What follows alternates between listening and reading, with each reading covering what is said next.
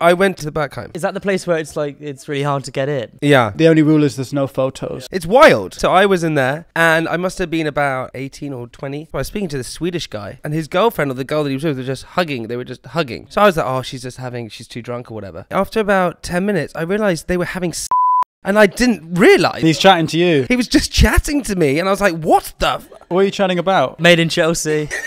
He was a big fan.